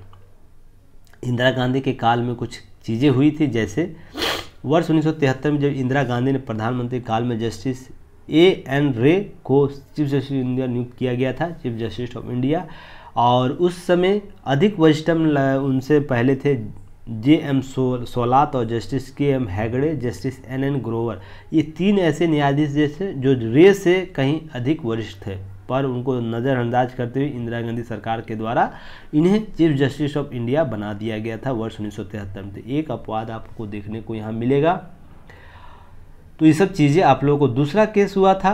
इंदिरा गांधी के पीएम रहते ही हुआ था, वर्ष 1977 में ही ये मामला हुआ था, तिहत्तर के बाद जब एम एच बेग को चीफ जस्टिस ऑफ़ इंडिया बनाया गया था, उस समय वरिष्ठम जज एच आर खन्ना थे। इस अपवाद को भी कानूनी मामले में जोड़कर देखा जा जाता था और जो ए डी एम जबलपुर और शिवकांत शुक्ला केस में पाँच जजों के बेंच ने निर्णय सुनाया कि जस्टिस बेग समेत पीठ के चार जस्टिस सरकार के इस तर्क से सहमत है कि राष्ट्रीय आपात में जीवन और स्वतंत्रता के अधिकार सहित सभी मूल अधिकार रद्द हो जाते हैं। सिर्फ़ जस्टिस खन्ना इस के खिलाफ थे। तो यह मामला उसमें विवाद उत्पन्न हुआ था, जिनको अवरिष्ठता के नियम को पालन नहीं किया गया था तो दो ऐसे मामले देखने को मिले थे। तो यह आप लोग को याद रखिएगा। देखिए, जल जीवन मिशन के नोबेल विजेता पुरस्कार ने सराहना किया। इन पर एक डाटा बेस तैयार किया। इनके द्वारा अध्ययन शैली की गई है। स्वच्छ पेयजल अगर हम मुहैया कराते तो कौन कौन सी चीज़ें सरकार प्राप्त कर सकती है? कौन कौन से लक्ष्य को प्राप्त किया। जा सकता ग्रामीण इलाकों में स्वच्छ पेयजल उपलब्ध कराने केंद्र सरकार की महत्वाकांक्षी योजना जो है, जल जीवन मिशन, अंतर्राष्ट्रीय पहचान और सराहना मिली है। 2019 के जो अर्थशास्त्र के विजेता हैं, नोबेल पुरस्कार विजेता, प्रोफेसर माइकल क्रेमर ने जल जीवन मिशन महत्व को रेखांकित करते हुए निष्कर्ष निकाला कि जरी, इसके ज़रिए बाल मृत्यु दर को कमी लाई जा सकती है। क्रेमर शोध पत्र में अनुसार जल जीवन में सही तरीके से अमल कर हर साल हर साल पाँच साल तक 1.36 लाख बच्चों की जान बचाई जा सकती है। तो ये कितनी बड़ी उपलब्धि भारत सरकार की है? स्वच्छ जल उपलब्धता के संदर्भ में आप लोग समझ सकते हैं। और जल जीवन मिशन का लक्ष्य है 2024 तक ग्रामीण इलाकों सभी घरों में पर्याप्त सुरक्षित पेयजल उपलब्ध कराना और 2019 में इसकी शुरुआत की गई थी। और देखिए इसमें रेंडम कंट्रोल ट्रायल्स अपनाया गया था इस इस माइकल क्रेमर उनकी टीम द्वारा। 15 रैंडम कंट्रोल ट्रायल्स के आधार पर निष्कर्ष निकाले गए वाटर ट्रीटमेंट डायरिया को अंकुश लगाने, बाल मृत्यु दर कमी लाने सबसे किफ़ायती तरीका है। तो स्वच्छ जल उपलब्ध कराना और स्वच्छ जल प्राप्त करना हमारा मौलिक अधिकार है आर्टिकल 21 के तहत। ध्यान रखिएगा। यह आपको मौलिक अधिकार में भी दिया गया है तो जल जीवन मिशन के संदर्भ में भी आपको प्रश्न पीटी फैक्ट के रूप में पूछ सकता है। और केस स्टडी के तौर पर आप इसे यूज़ कर सकते हैं, इनके रिपोर्ट, शोध पत्र को। तो ध्यान रखिएगा, इन सब चीज़ों को कवर करना। नेक्स्ट हम लोग आगे बढ़ते हैं। आगे बढ़ने से पहले आप लोग चैनल को ज़रूर सब्सक्राइब कीजिए यूट्यूब चैनल को, साथ ही शेयर कीजिए और कमेंट भी महत्वपूर्ण रूप से कीजिए। आपसे हम्बल रिक्वेस्ट है सब्सक्राइब ज़रूर चैनल को कीजिए ताकि जो संख्या हम निर्धारित किए दस हज़ार सब्सक्राइबर का, वो जल्द से जल्द पूरा और स्मार्ट टीवी फॉर्मेट पर हम लोग आएँ और बेहतर और भी अध्ययन अध्यापन को बेहतर बनाने का प्रयास करें। तो बिना आप लोग के सहयोग की यह नहीं होगा। अपने दोस्तों तक यह फॉरवर्ड कीजिए, युक्ति आई को। युक्ति आई के लिंक को। इतना तो हमारे लिए आप कर ही सकते हैं, जितना मैं आप लोगों के लिए कर रहा हूँ तो आप इतनी छोटी से काम तो कर ही सकते हैं। अगर प्रत्येक हमारे व्यूअर हैं लिसनर है, अगर 10-10 लोगों को भी फॉरवर्ड करते हैं तो हमारी संख्या लगता एक महीने के अंदर इतनी हो सकती है। पर आप अगर, ईमानदारी तरीके से अगर ये करते हैं तो होगा। नहीं तो अगर जो हमें अनसीरियस समझते हैं, अगर वो नहीं कर, नहीं करते तो उनकी बात ही कोई बात नहीं है कि अगर उनके लगता है कि नहीं चैनल बढ़ जाएगा तो क्या होगा? बहुत कुछ चैनल बढ़ने के बाद आता है कॉन्फिडेंस बढ़ता है। और कॉन्फिडेंस बढ़ता है तो बहुत सी चीज़ें हम लोग रिक्स लेना पसंद करते हैं। तो ये सब चीज़ें आप लोग समझिए, आप लोग ज़रूर शेयर कीजिए। देखिए, इसी पहला पेज में जो था महाकाल गाथा विध्वंसक पुनर्निर्माण तक का जो कॉन्सेप्ट है, सांस्कृतिक विरासत को बढ़ावा दे रहा है। तो इसके संदर्भ आप लोग की नोट्स यहाँ से बना लीजिएगा। बहुत विस्तृत यहाँ चर्चा की गई है तो आप लोग इसको कवर कर लीजिएगा। अब जो चीज़ें लिखी हुई, उसी को बार बार पढ़ना ठीक नहीं लगता है। तो जो यहाँ दिया हुआ की फैक्ट के रूप में, उसे कवर कर लीजिएगा। चलिए नेक्स्ट हम लोग बात करते हैं। नीचे आ जाएँगे, तब तक आप लोग चैनल को ज़रूर शेयर ऐप ज़रूर डाउनलोड कीजिए आप लोग। ऐप डाउनलोड कीजिएगा, आप लोग बहुत सा चीज़ वहाँ प्राप्त होगा, बहुत लो प्राइस पर जैसे 99 में 68 बीपीएससी का आप टेस्ट दे सकते हैं। पहले से 25 टेस्ट है शामिल और सेकेंड टेस्ट और ऐड होगा तो आप लोग कन्फ्यूज़ मत होइएगा। यूपीएससी का टेस्ट आप फोर नाइन नाइन में आप लोग दे सकते हैं। फोर नाइन नाइन में यूपीएससी का टेस्ट दे सकते टू नाइन में यूपी पीसीएस का टेस्ट दे सकते हैं। और इसी तरह की नोट्स एक साल का प्राप्त करना तो वन नाइन नाइन में आपको यह प्राप्त होगा। और इसकी देखिए, इसका रेट जो है, दैनिक जागरण न्यूज़ एनालिसिस का जो है, वो जल्द से बढ़ने वाला है। तो आप लोग जो भी अभी तक इनरोल नहीं कराए तो वो इनरोल करा लें। देखिए यूपीएससी जीएस पेपर थर्ड में यह आर्टिकल आज काम देगा। ऊर्जा और खनिज संसाधन संरक्षण के जो मुद्दे हैं टॉपिक है, उससे रिलेटेड यह न्यूज़ कवर करता आर्टिकल तो ऊर्जा संकट से हमें सबक लेना है। तो देखिए यूक्रेन रूस का युद्ध चल रहा है, उसमें यूरोप में आपको ऊर्जा खपत वाले मामले देखने को मिले। ऊर्जा संरक्षा के संदर्भ में, ऊर्जा कटौती के संदर्भ में सभी मामले देखने को मिला है। साथ ही ऊर्जा अगर कटौती होती है तो इस्पात, सीसा, जस्ता, एल्युमिनियम कारखानों को भी यह समस्या उत्पन्न हो जाएगी ऊर्जा उपयोग कैसे करेगा। तो यूरोपियन संघ अपने 27 देशों में गैस की खपत में 15 प्रतिशत कटौती करने की इच्छा ज़ाहिर किया है। तो देखिए कितना यह बड़ी समस्या उत्पन्न हो जाएगी। और देखिए, ऊर्जा संकट के दो पहलू हैं। एक तो जो यूरोपियन कंट्री की बात हो रही है, तब हम लोग भारत पर आएँगे। यूरोपियन कंट्री में बात बोलेगी गैस भंडार पूरी तरह भरे नहीं है, क्योंकि यूक्रेन हमले के बाद रूस ने पर्याप्त गैस आपूर्ति नहीं की है। तो इसके बीच विवाद लगातार देखने को मिला था। दूसरा कि ऊर्जा संकट का दूसरा पहलू यह है कि गैस और बिजली के दामों में लोगों और उद्योग क्रय शक्ति में ऊपर चले जाना क्रय शक्ति तथा खरीदने की जो क्षमता है, उससे कहीं ऊपर दाम का चला जाना भी संकट का कारण है।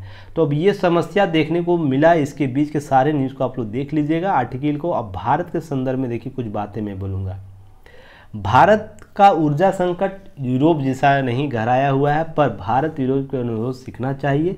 रूस से रियायती दरों पर मिल रहे तेल के बावजूद भारत वार्षिक ऊर्जा आयो, जो आयात बिल बढ़ रहा है, और हर साल देश की भारी भारी भारी संपदा खाड़ी देशों, अरब देशों या रूस जैसे ऊर्जा निर्यातकों के पास चला जाता है।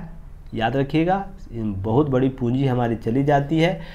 तेल सब्सिडी तेल के रूप में, खाद्य, जो पेट्रोलियम उत्पाद के रूप में चली जाती है। तो देखिए, यहाँ पर बात है कि प्रधानमंत्री ने हाल ही में 2070 तक भारत को कार्बन न्यूट्रन बनाने का ऐलान किया है। तो यह लक्ष्य, क्योंकि प्रति व्यक्ति उत्सर्जन में हम यूरोप और अमेरिका की तुलना में बहुत कम है। उसे जल्दी हरित ऊर्जा अपनाने के लिए बात नहीं करता, पर हमारे पास जो ऊर्जा संकट, उसके संदर्भ में हम बात कर रहे हैं कि 2070 तक अगर कार्बन न्यूट्रन आते तो हम अन्य विकल्प पर बेहतर तरीके से काम करेंगे। जैसे पवन ऊर्जा हुआ, परमाणु ऊर्जा हुआ, हाइड्रोजन ऊर्जा हुआ, जैसे हरित ऊर्जा है, उस पर हम बेहतर काम करेंगे जब तक 2017 सत्तर आएगा, तब तक हम यह उन्नत तकनीक को डेवलप कर चुकेंगे। और इस पर रिपोर्ट आप लोगों को मैंने पहले भी एनालिसिस किया ग्रुप में शेयर किया तो आप लोग अपडेट रहते रहिएगा। तो आर्टिकल यह समझाने का प्रयास कर रहा है समसामयिक यह संपादकीय पृष्ठ कि ऊर्जा संकट जो भारत में है, उसका समाधान हमारे वैकल्पिक ऊर्जा स्रोतों से ही पूरा हो सकता है, हरित ऊर्जा से ही पूरा हो सकता है। और जो टारगेट है 2070 का, उसके संदर्भ में हम चीज़ों को आगे बढ़ाएँ। तो आपसे प्रश्न क्रिएट किया जा सकता है इस प्रकार से तो आप इसे ज़रूर यूज़ कीजिएगा। देखिए, मैंने कुछ दिन पहले ही बोला था कि ईरानी मामला जो है जो हिजाब का मामला है, भारतीय हिजाब के मामला जो कर्नाटक में आया था, उसके बीच मूल अंतर कितना है? ध्यान रखिएगा। मैंने पहले भी चर्चा किया, आज के लेख में देखिए, इनके द्वारा भी बोला कहाँ छिप गए भारत के नारीवादी। देखिए, कर्नाटक में जो हिजाब का मामला था, वहाँ पर सभी महिलावादी सोच और कट्टरपंथी सोच, विचारधारा वाले लोग बढ़ चढ़ कर ये बातें बोली थी कि महिला हिजाब जो है, वो भारत में बैन नहीं होनी चाहिए। सभी जगह ये पहन के जा सकते हैं और बहुत ज़ोर शोर के यह बातें की गई थी और यह न्यायिक मामलों में भी आया हुआ है। तो इस पर टिप्पणी तो मैं नहीं करूँगा, पर ईरान के मामले में बात ज़रूर कर सकता हूँ कि ईरान में लगभग एक सौ पचासी लोगों की मौत हो चुकी है। यहाँ पर ऐसी कोई घटना नहीं थी पर फिर भी जो महिलावादी, नारीवादी सोच इस संदर्भ में रखते हैं, कुछ कट्टरपंथी लोग सोच रखते हैं तो उनका यह बात रखा गया था एक ही मुद्दे पर दो स्टैंड लोग अपनाते हैं, यही समस्या का मूल जड़ है। अगर नारीवादी विचारधारा यहाँ अगर कॉन्सेप्ट डेवलप होता है तो यहाँ भी होना चाहिए। अब भारत का कोई भी ऐसा संगठन इस संदर्भ में बातें नहीं कर रहा है, खुले मंच पर। ध्यान रखिए, खुले मंच पर कोई नहीं करना चाहता है तो ये इनके संदर्भ में बात की गई है। चलिए नेक्स्ट याद देखिएगा। भारतीय दवा उद्योग प्रतिष्ठा पर आँच है। इस पर लगातार न्यूज़ मैंने कवर किया। उसी के संदर्भ में अभिषेक कुमार सिंह के द्वारा संस्था जो है, उनके ग्लोबल के संदर्भ में उनके द्वारा ये बात की गई है। तो इनके न्यूज़ को आप लोग ज़रूर देखिएगा, अंडरलाइन किया हुआ। पहले की न्यूज़ को कवर ये करते हैं। कुछ बातें यहाँ पर दी गई है, उसे आप लोग कवर करें। सारे चीज़ों को अंडरलाइन मैंने कर दिया है तो आप लोग कन्फ्यूज़ नहीं होइएगा। बस अंडरलाइन को अच्छे तरीके से पढ़ लीजिएगा। चलिए नेक्स्ट बात करेंगे। शायद आज का न्यूज़ इतना ही था। हाँ देखिए केस स्टडी यहाँ पर था बिहार के मामले में इसी को मैं ढूंढ रहा था। 10 साल की उम्र में दर्ज हुआ था केस तैंतालीस वर्ष बाद दोष मुक्ति हुआ है। तो ध्यान रखिएगा हमारी न्याय व्यवस्था पर कितना बड़, कितनी बड़ी तमाचा है हमारी लोकतांत्रिक प्रक्रियाओं के संदर्भ में भी। कितना गंदा मज़ाक है इससे बेहतर उदाहरण आपको नहीं मिलेगा। और केस स्टडी के तौर पर ये बेहतर तरीके से आप लिख सकते हैं। और हाल में न्याय व्यवस्था में लगातार सुधार के मामले आए हैं। सुधार करना चाहती है सरकार भी, संस्थाएँ भी सर्वोच्च न्यायालय, उच्च न्यायालय, सभी संस्थाएँ ये करना चाहती है। उसमें ये केस स्टडी के तौर पर यूज़ इसे देख सकते हैं, लिख सकते हैं। जैसे बिहार के बक्सर ज़िले में इसी तरह का एक मामला हुआ था, जहाँ पर 43 साल पहले एक 10 साल के बालक पर सशस्त्र अधिनियम, शस्त्र अधिनियम का मामला दर्ज हुआ था और तिरपन साल के बाद अधेड़ उम्र में उन्हें अपराध से बनावटी कहानी से दोष मुक्त कर दिया था। कुछ एजेंस सरकारी एजेंसियाँ ही इन्हें पकड़ी थी। पुलिस प्रशासन ही पकड़ा होगा तो भी और कुछ बनावटी फेक न्यूज़ या फेक एफआईआर दर्ज कर इन्हें इन्हें हिरासत में लेता है और इसे जेल में जेल में भेज दिया जाता है। जो तिरपन साल की उम्र में इन्हें दोष मुक्ति देता अब मंगलवार को किशोर न्याय परिषद इस मामले ने निष्पादन किया। तिहत्तर साल बाद शस्त्र अधिनियम के तहत आया फैसला। कोर्ट में चर्चा का विषय जानकारी के अनुसार क्या है? आगे आगे चीज़ें आप लोग देखिएगा। सात सितंबर सत्रह सौ उनासी को शस्त्र अधिनियम के तहत दर्ज किया गया था। उस समय बालक की उम्र मात्र दस वर्ष थी, दस वर्ष पाँच महीने। अब किसी मामले, किसी के साथ मारपीट एवं शस्त्र प्रदर्शन किया गया था इनके द्वारा। अब मामले में चार श्रेष्ठ में बालक को संबंधित मुकदमा नवंबर 2012 को किशोर न्याय परिषद में पहुँचा। और मामला अभी 12 से लेकर वर्तमान तक भी चलता रहा। और देखिए, यहाँ पर क्या हुआ, नहीं हुआ, ये चीज़ें न्यायिक प्रक्रिया का भाग है। पर मैं एक, या एस्पेरेंट के तौर पर आपसे अगर कोई पूछे कि क्या यह युक्ति युक्त है तो यह कदाचित युक्ति युक्त नहीं है। इतने छोटे से मामले में किसी संस्था को 43 वर्ष लग जाता है तो इससे बुरी बात क्या होगी? उस संस्था पर उससे बड़ा शर्मनाक चीज़ नहीं हो सकता, और सबसे बड़ा कि जवाबदेह कौन होगा उसकी पूरी जीवन का? जो क्षति उसे हुई है, मानसिक, शारीरिक और बौद्धिक रूप से, समाज में उसकी प्रतिष्ठा का जो हुआ है, उसका जवाबदेह, उसकी जवाबदेही कौन लेगा? उसको मुआवजा किस रूप से प्राप्त होगा? भारत में ऐसा कोई कॉन्सेप्ट नहीं है। अगर इस प्रकार की संस्थाएँ नाकामी के रूप में काम करती है तो उसको मुआवजे दिया जाए। मैं तो बोलता हूँ ऐसे ऐसे मामले में हज़ार करोड़ रुपया का कम से कम मुआवजा इन लोगों पर लगाने चाहिए जो इस प्रकार के संस्थाएँ कार्य की है। तो जाके एक नज़ीर पेश होगा इस प्रकार के कार्यों में।